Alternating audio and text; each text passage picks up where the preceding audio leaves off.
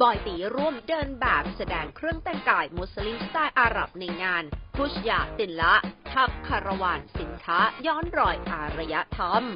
เรียกได้ว่าเป็นครั้งแรกของสองหนุ่มจากบ้าน AF บอย AF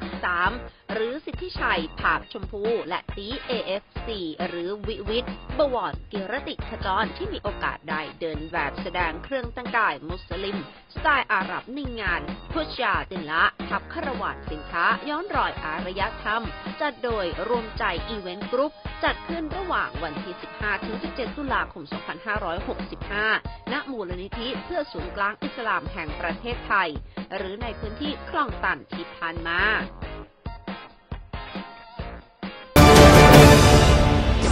ก็ขออนุญาตสวัสดีนะครับทุกๆท่านนะครับ ผมบังอาดุลหมัดบูนะครับเป็นรวมใจ Event Organizer นะครับ ก็ขออนุญาตกล่าวคำว่า السلام عليكم ورحمة الله وبركاته นะครับ ยินดีต้อนรับทุกท่านสู่มูลนิธิศูนย์กลางแห่งประเทศไทย ในงานฮุจญาติลละห์ทัพคาราวานสินค้าครับผม คอนเซ็ปต์เราไว้คือเป็นการช่วยเหลือเด็กกำพร้านะครับมูลนิธิอันซอนนะครับ แล้วในงานเนี่ยเราจะมีการออกร้านค้ามากมายหลายทุกหลายทุกภูมิภาคเลย แล้วก็เราจะจัดเป็นชุดแต่งกายมุสลิมที่เป็นชาว Arabian เลยนะฮะเป็นเป็นการว่าให้ให้ให้ให้ให้ผู้คนรู้ว่าเออชุดการมุสลิมเนี่ยเป็นแบบไหนแบบไหนแบบไหนอะไรเงี้ยครับแล้วก็เราจะมีการเอ่อทำบุญร่วมกันนะครับบริจาคให้กับมูลนิธิเด็กกำพร้าครับ feedback ตอบรับดีมากครับขออนุญาตเพิ่มเติมในส่วนของวัตถุประสงค์นิดนึงนะครับวัตถุประสงค์หลักจริงๆเนี่ยด้วยเจตนาหรือ نية ของของของทีมงานเนี่ย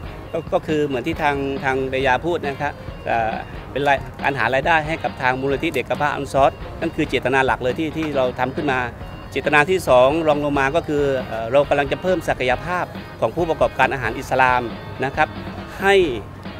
สู่สากลนะคือความหมายที่ผ่านมาเนี่ยเราโดนบททดสอบจากพระผู้เป็นเจ้าในเรื่องของโควิด เพราะฉะนั้นเราผ่านวิกฤตนี้กันมาเพราะฉะนั้นผมพยายามที่จะรวบรวมนะครับรวบรวมร้านค้านะครับเพื่อมาออกงานหารายได้กระตุ้นเศรษฐกิจนะจากรากหญ้าจนจนสู่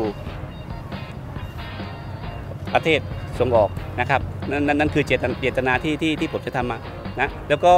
เรียนให้ทราบว่าอนาคตเราจะมีแบบนี้ต่อต่อไปที่ต่อไปที่เราจะไปทำกันคือที่เอเชียทิก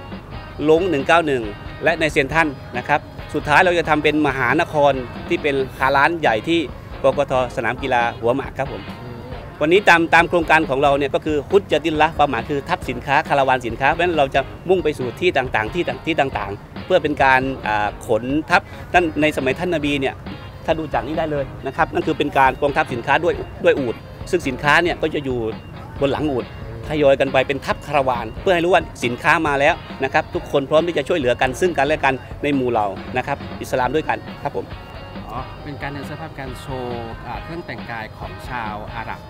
ของมุสลิมเรานะครับ ที่เป็นอาหรับดั้งเดิมเลยเป็นเป็นเป็นชุดอาหรับเบียนประมาณนี้ครับนะครับเป็นการแต่งแต่งกายของผู้ชาย แล้วก็แต่งกายผู้หญิงที่ถูกหลักของอิสลามครับ ให้พอดีพอดีเอ่อน้องตีกับน้องบอลเนี่ยเขาจะพร้อมที่จะช่วยเหลือมูลนิธิเออหรือว่าเด็กกำพร้าหรือว่าการกุศลอยู่แล้วอะครับก็เลย